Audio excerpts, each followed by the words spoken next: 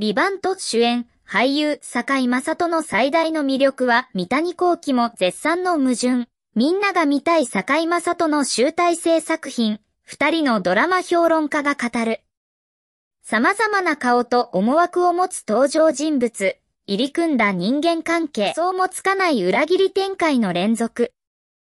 残り2話となった TBS 日曜劇場、ビバントで視聴者を沼に引き込んでいくのは、主役、坂井正人、49が見せる。ギャップだ。坂井といえば、やはり TBS 系。2013年。2020年に続編が放送。のイメージが強い。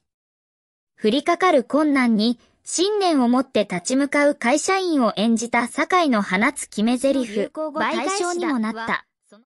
痛快な完全懲悪劇にドハマりした視聴者は多く、13年版の最終回の平均視聴率42.2%、関東地区ビデオリサーチ調べは、もはや伝説となっている。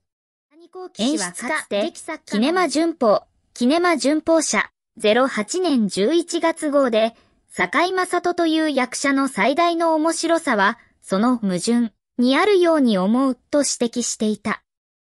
明るいのに暗い。笑いのにどこか抜けている。暑いのにクール。クールなのに暑い。相反する二つの要素を同時に抱えた人物を演じるとき、坂井正人という俳優は、驚くほどの輝きを見せます。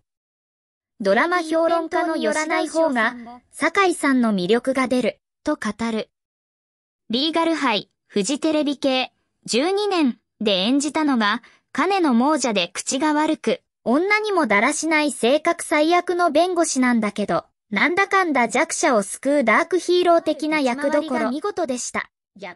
酒井さんは、中肉中背でいわゆるイケメン枠ではないし、声も高くて、渋みがあるわけではない。でも、だからこそ見た目に左右されない配役が生きる。邪悪なものが潜む役こそドラ、講談社、などの著書があり、ドラマ批評家でもある木又冬さんも、ビバントでの酒井について、酒井さんが演じるいい人は誰も興味がなんかすごいみたいな、心に怪物を飼っているような役。ビバントではそれに依頼つつスケールもアップし、まさにみんなが見たい坂井正人の集大成。と評する。